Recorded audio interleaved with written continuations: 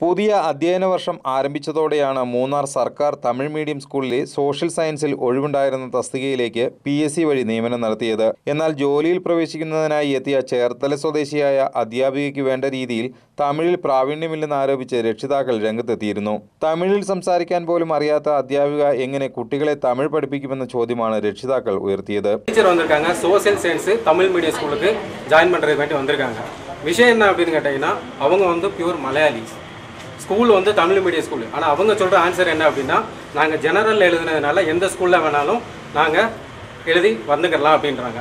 அப்போ நான் என்ன சொல்கிறோம்னா நான் கேட்ட தமிழில் கேட்ட கொஸ்டினுக்கெல்லாம் எதுக்குமே ஆன்சர் அவங்க கரெக்டாக சொல்லலை. എന്നാൽ നിയമനം നടത്താതെ മറ്റു മാർഗമില്ലെന്ന് സ്കൂൾ അധികൃതർ അറിയിച്ചതോടെ രക്ഷിതാക്കൾ പ്രതിഷേധം കടുപ്പിക്കുകയും തമിഴ് വംശജരായ കുട്ടികളുടെ ടി സി ആവശ്യപ്പെടുകയും ചെയ്തു. നൂറ്റി അറുപത്തിയാറ് ബാർ രണ്ടായിരത്തി പതിനാറ് പ്രകാരമുള്ള സർക്കാർ ഉത്തരവിൽ തമിഴ് മീഡിയത്തിൽ പഠിപ്പിക്കുന്ന അധ്യാപകർക്ക് നിർബന്ധമായും തമിഴ് അറിഞ്ഞിരിക്കണമെന്ന് പറഞ്ഞിട്ടുണ്ട്.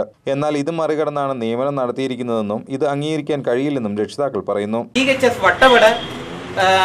S Devikulam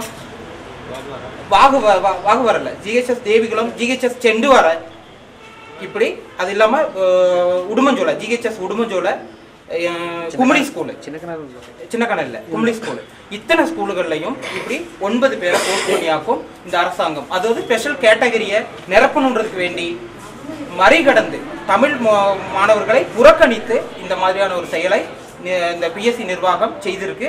இது வந்து க- கண்டிப்பான முறையில் எங்களுக்கு இது ஒரு நாங்கள் பெரிய பெரிய தமிழே தெரியாதவங்க எப்படி தமிழ் படிப்பிப்பாங்கன்றதாக்கும் எங்களுடைய கேள்விக்குறி. പ്രതിഷേധം ശക്തമായി കുട്ടികളെ ടി സി വാങ്ങിക്കൊണ്ടുപോകുമെന്ന സ്ഥിതിയിലേക്ക് എത്തിയതോടെ വിഷയത്തിൽ ഡി ഡി ഇടപെടുകയും അധ്യാപികയോട് ജോലിയിൽ പ്രവേശിക്കാതെ തിരികെ വരാൻ ആവശ്യപ്പെടുകയുമായിരുന്നു. നിലവിൽ ജില്ലയിലെ മറ്റ് തമിഴ് മീഡിയം സ്കൂളുകളിലും ഇത്തരത്തിൽ അനധികൃത നിയമനം നടത്തിയിട്ടുണ്ടെന്നും ഇവർ ആരോപിച്ചു. ഇത്തരം നിയമനം നടത്തുന്നതിലൂടെ തോട്ടം മേഖലയിൽ നിന്നും ഉന്നത വിദ്യാഭ്യാസം നേടിയ ഉദ്യോഗാർത്ഥികളുടെ അവസരം നഷ്ടമാകുകയാണെന്നും തമിഴ് അധ്യാപികയെ നിയമിക്കുന്നതിന് നടപടി സ്വീകരിക്കണമെന്നും അല്ലാത്തപക്ഷം ശക്തമായ പ്രക്ഷോഭത്തിന് നേതൃത്വം നൽകുമെന്നും രക്ഷിതാക്കൾ മൂന്നാറിൽ പറഞ്ഞു. Channel today Munnar.